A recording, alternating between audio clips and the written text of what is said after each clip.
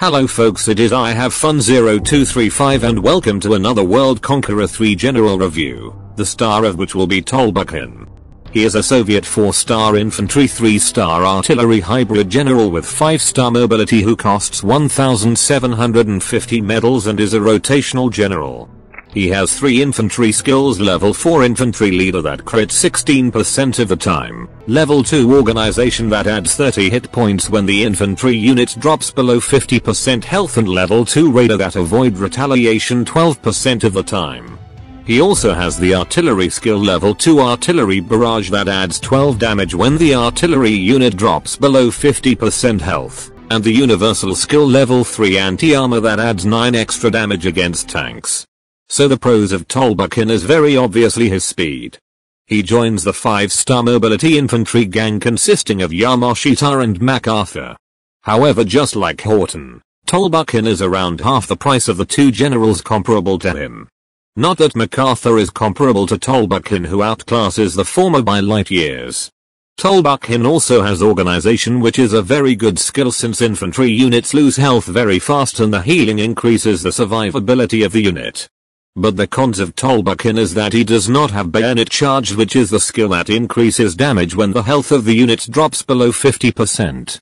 While Tolbukhin has healing that theoretically keeps infantry health above 50%, if you had watched the Falkenhorst general review despite Falkenhorst having organization he tended to have below 50% health.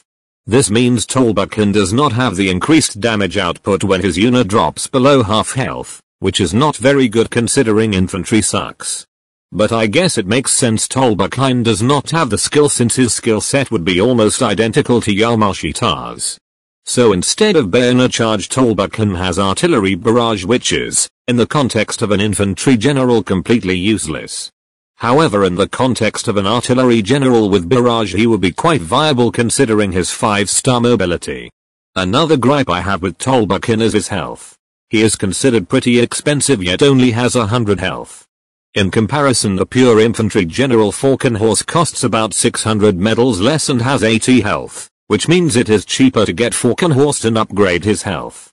So in conclusion if you are in need of a mobile general to rush and capture cities across the map, Tolbukhin is your guy. But if you just want a good infantry general, you should get Falkenhorst. Or if you're rich and can spend money you should buy the in-app purchase General Vasily. But enough talk, it's drop kicking time.